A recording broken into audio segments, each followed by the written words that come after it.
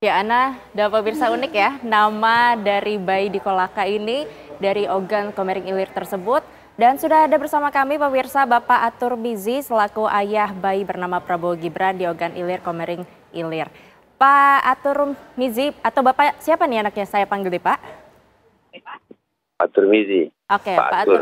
Oke, Pak Atur, terima kasih sudah bersama dengan kami di Apa Kabar Indonesia Siang. Sebelumnya kami ingin tanyakan terlebih dahulu, si Gemoy ini sehat Pak? Alhamdulillah sehat. Luar biasa. Pak ini bisa kepikiran nama uh, Prabowo Gibran ini dari kapan sih Pak? Mulai dari pemilihan presiden kan. Prediksi saya kan diprediksi dokter lahir bulan 3. Ternyata pas pemilihan pilkada itu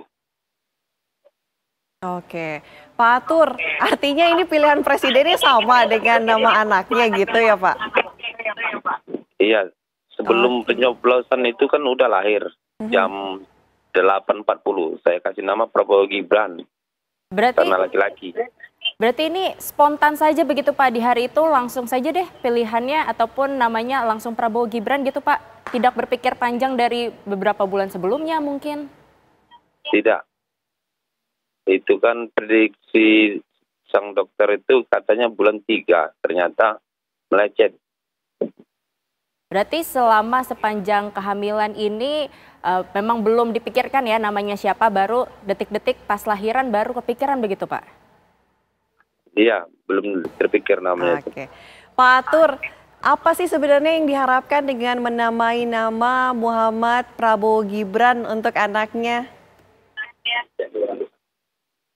Supaya seperti Pak, Pak Prabowo lah gitu. Apa tuh Pak? Sikap seperti Jadi, apa yang diinginkan? Ya saya mengagumi Pak Prabowo lah. Saya ngepen sama Pak Prabowo. Oke, Pak sejauh ini atau selama ini sudah ada mungkin respon gak sih Pak dari uh, relawan ataupun juga pendukung dari Bapak Prabowo Gibran ini? Belum ada. Hmm, belum ada. Tapi ingin Bapak bertemu dengan Prabowo Gibran?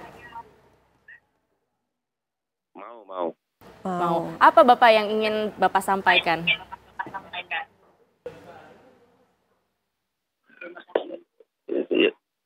Semoga anak kami bisa seperti Pak Prabowo lah gitu. Oke, okay. baik. Doa untuk Bapak Termizi nih untuk si Gemoy atau Muhammad Prabowo Gibran apa Pak?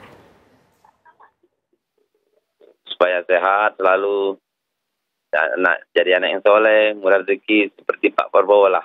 Baik, Pak Atur terima kasih sudah berbagi cerita bersama kami di Apa Kabar Indonesia Siang. Selamat siang Pak Atur. Selamat siang.